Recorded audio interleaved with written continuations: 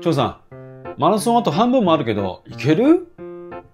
半分も？だ、大丈夫。え、本当？無理しない方がいいんじゃないの？もう、もう問題。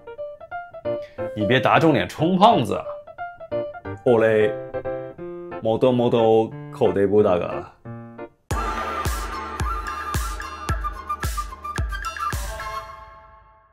はい、皆さんこんにちは、上です。今日はですね、中国のことわざを学んでいきましょう。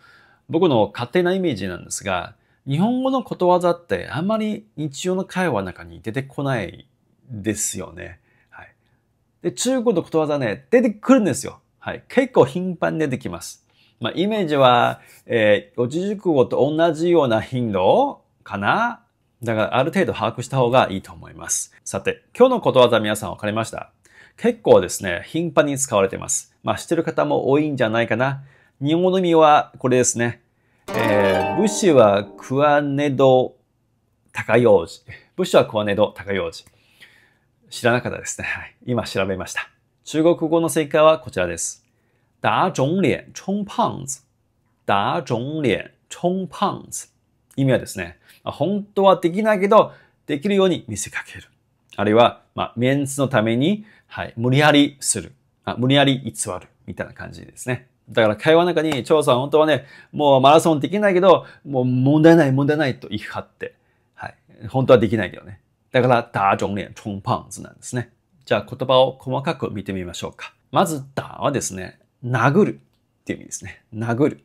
はい。肿は、殴ったら腫れる。はい。肿、腫れるっていう意味ですね。脸は、まあ、顔ですね。顔、脸。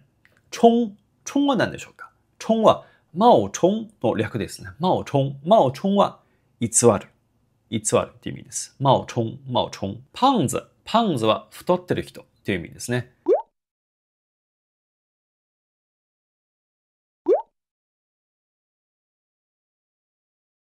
まあ、言葉自体はすごい簡単なんですが、どうやって会話の中に入れ込むのか、もう一回中国語の会話を見てみましょう。小张，马拉松还有一半，你没问题吗？还有一半，没，没事儿，真的？不要太勉强哦，没没问题。你别打肿脸充胖子啊。我我本来就是个小胖子。 OK。じゃあ、日常会話の中で皆さんは打肿脸充胖子のシーンはありますでしょうか？あったらぜひ中国語でコメントに残してください。